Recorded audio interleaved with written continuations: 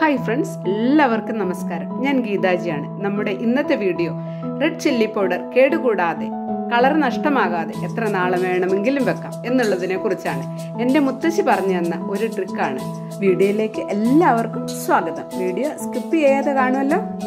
പൊടിക്കാൻ ആവശ്യമായ മുളക് നല്ലതുപോലെ ഒന്നുകൂടെ വെയിൽ കൊള്ളിക്കുക അതായത് ഇപ്പം നല്ല വേനൽക്കാലമൊക്കെ ആണല്ലോ അപ്പോൾ അങ്ങനെയാകുമ്പോൾ രാവിലെ മുതൽ ഒരു ഒരു ദിവസത്തെ വെയിൽ മൊത്തമായി കൊണ്ടാലും മതി ഞാൻ മുളക് പൊടിക്കുന്നത് മുളകിന്റെ ഞെടുപ്പോട് കൂടിയാണ്. നിങ്ങൾക്ക് അഥവാ ഞെടുപ്പ് വേണ്ട എന്നുണ്ടെങ്കിൽ അതെല്ലാം വൃത്തിയാക്കി എടുക്കാം കേട്ടോ.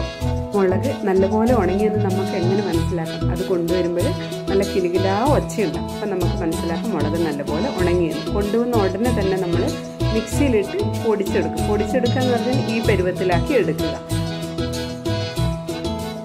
ഒന്നൊതുക്കി പൊടിച്ചെടുത്ത ആ മുളക് ഒന്നുകൂടി ഡ്രൈ റോസ്റ്റ് ചെയ്യുക. ചീനച്ചട്ടിയിൽ വെച്ചിട്ട് അതായത് രണ്ട് മിനിറ്റ് ഒന്ന് ചൂടാക്കി എടുക്കുക അത് കഴിഞ്ഞതിന് ശേഷം ഒന്നുകൂടെ രണ്ട് മിനിറ്റ് ചൂടാക്കുക. അത്രയേ ചൂടാക്കാൻ പാടുള്ളൂ. അതിന്റെ കളർ നഷ്ടമാകരുത് അതുപോലെ തന്നെ കരിഞ്ഞും പോകരുത്. എന്നാൽ അതിന്റെ പച്ചച്ചവ മാറുകയും വേണം.